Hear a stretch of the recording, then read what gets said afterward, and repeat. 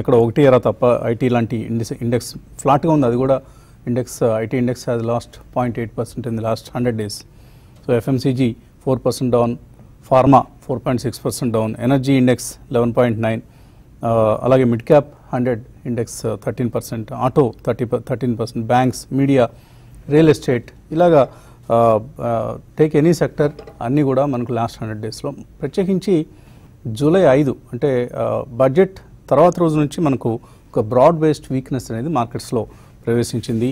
So బీఎస్సీలో ఉన్న two thousand two sixty four stocks పరిస్థితి గమనిస్తే ఇందులో eighty two percent నష్టపోయాయి.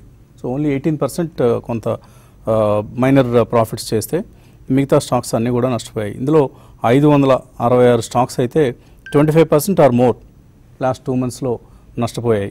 So only sixty three stocks twenty five percent or more పెరిగాయి. అంటే ఐదు వందల అరవై అరవై ఆరుకి అరవై మూడుకి ఎంత డిఫరెన్స్ ఉందో మనం గమనించవచ్చు.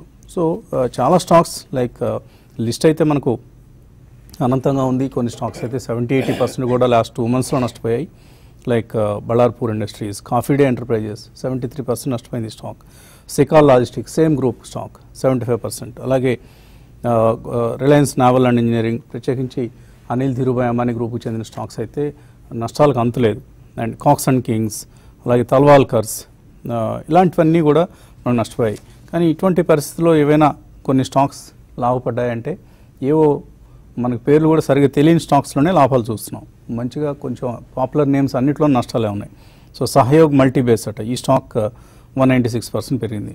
అలాగే mercantile ventures Yashraj containers Krishna ventures Howard hotels ఇలాంటివి మనకు అసలు వీటి పేర్లు కూడా పెద్దగా ఇప్పుడు మనం వినం బాలూర్ ఘాట్ టెక్నాలజీస్ ఇలాంటి స్టాక్స్. సో దాన్ని బట్టి అర్థం చేసుకోవచ్చు ఏవో కొన్ని ఆపరేటర్ డ్రివెన్ స్టాక్స్ లేదా ఎక్కడో ఏదైనా చిన్న news to news based stocks లాంటివి పెరుగుంటాయి.